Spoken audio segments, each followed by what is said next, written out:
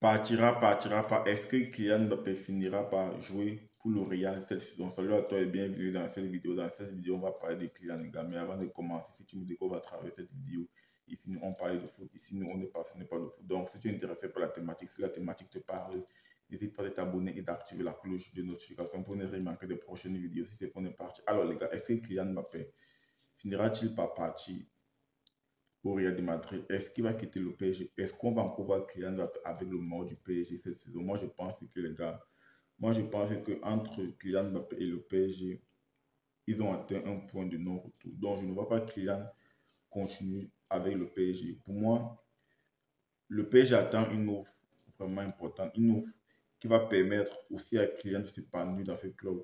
Si le Real met 70 millions d'euros, je pense que Kylian s'en ira si le Real met 70 millions d'euros sur Kylian, je pense que le PSG va céder, le PSG va le vendre et Kylian ira au Real de Madrid. Après, n'oublions pas, n'oublions vraiment pas, il y a les clubs anglais aussi, économiquement, ils sont puissants.